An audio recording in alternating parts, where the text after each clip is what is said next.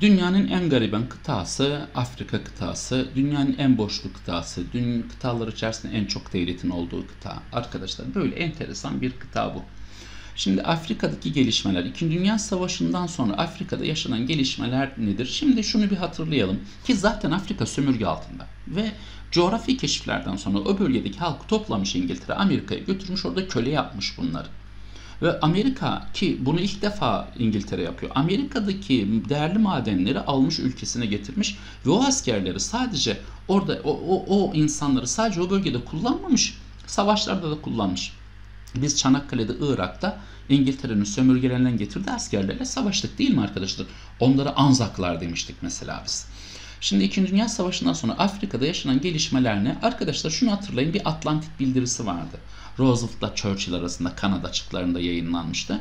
Bu Atlantik bildirisiyle, Atlantik paktıyla diğer bir ifadeyle hür irade özerk yani uluslara bağımsızlık verilecek fikri ortaya çıkmıştı. Bir de bu arada İtalya'da Afrika'dan atılmıştı. İtalya ile yapılan savaşı İtalya kaybetmiş ve İtalya sömürgesindeki devletler de yavaş yavaş bağımsız olmuştu.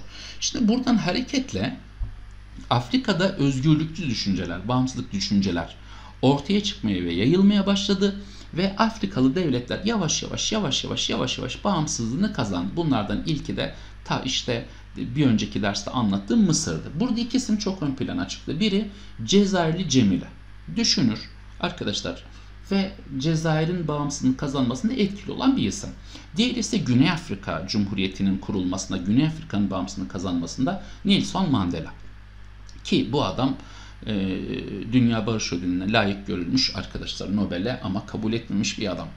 Şimdi e, bu tarz işte oradaki liderlerin, aydınların faaliyetleri ayrıca e, oradaki sömürgeci devletlerin o bölgeden atılması, Atlantik bildirisi 2. Dünya Savaşı'ndan sonra e, Avrupa kıtasında bir çöküntünün yaşanması, onda İngiltere, Fransa'nın zayıflaması o bölgedeki halkın bağımsızlığını kazanmasında etkili oldu.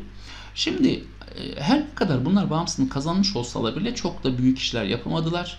Kalkınmak istediler ama her daim e, Amerika'nın, İngiltere'nin, Fransa'nın, İtalya'nın e, pençesini de tepelerinde hissettiler arkadaşlar.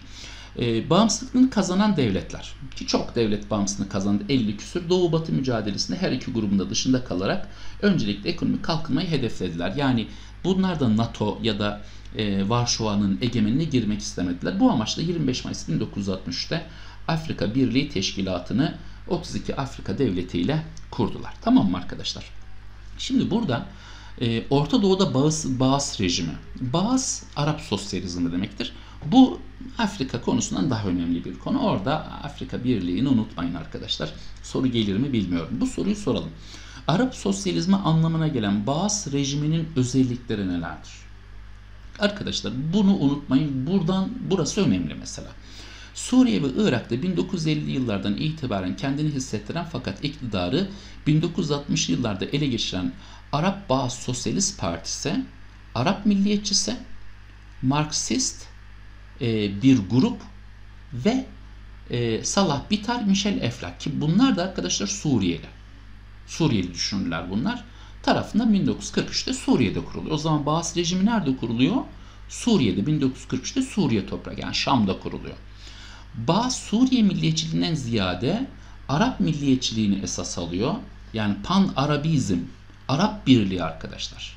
Esas aldığı programda Suriye, Irak, Filistin, Ürdün'ü bir araya getirmeyi hedefleyen Büyük Suriye projesi vardı.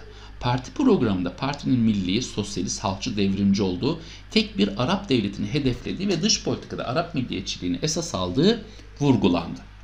Şimdi o zaman bu özelliğiyle bu devletler kime yakın? Rusya'ya yakın. Komünizme, sosyalizme yakın ki Suriye ve Irak'ta sosyalizm egemen oldu. Hala Suriye'de e, Baas rejimi egemendir arkadaşlar. Baas ideolojisinin sosyalizme yakınlığı bu ülkelerdeki tarihi yaşanmışlıkların bir sonucudur. Emperyalist batıya olan karşıtlık ki orası yıllarca İngiliz, Fransız mandasında kaldı hatırlayın arkadaşlar. Suriye ve Irak Sovyetler Birliği'ne yakınlaştırdı ve pan Arabizm fikri, Arap Birliği fikri böylelikle olgunlaşmaya başladı. 1958'de Suriye ile Nasır liderliğindeki Mısır arasında pan Arap İdealin ilk somut, somut adımı atılarak Birleşik Arap Cumhuriyeti kuruldu. Yani Suriye ile Mısır birleşti. Bağız yapıyor bunların hepsini arkadaşlar. Irak bu duruma Ürdün e, ile Arap Federal Birliği'ni kurarak karşılık verdi. Demek ki aralarında bir de yarış var. Yani Mısır'ın liderliğini istemeyenler var. Baas ilk kez 1960'ta Irak'ta yapılan askeri darbeyle iktidar oldu. O zaman Baas her ne kadar Suriye'de kurulmuş olsa bile cümleye dikkat edin. İlk egemenliğini, ilk iktidarı nerede gerçekleştirdi? Irak topraklarında 1960'ta. Ha bu çok e, ayakta durmadı. 5 yıl sonra yıkıldı. Tekrar bir darbe oldu arkadaşlar. Ve 35 yıl sürecek Baas rejimi Irak'a egemen oldu. Ne zaman bitti Baas rejiminin egemenliği? E, Saddam Hüseyin'in 2003'te e, tahttan indirilmesiyle taht diyorum çünkü diktatör bir adamdı arkadaşlar tamam mı?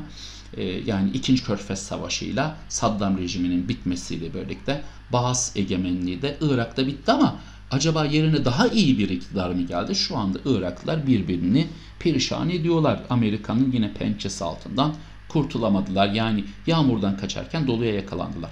Suriye'de ise Irak darbesinin verdiği cesaretle yapılan darbe günümüze kadar hala Baas rejiminin temel günümüze kadar hala devam etmekte. O zaman Baas Partisi'nin Suriye'deki egemenliği arkadaşlar henüz yıkılabilmiş değil. 1970'teki darbe sonrası Hafız Esad ki Beşar Esad Beşar Esed Hafız Esad'ın oğlu 1971'deki halk oylamasıyla ülkenin ilk Nusayri devlet başkanı oldu. Hala da o sülalede bu devlet başkanlığı devam ediyor.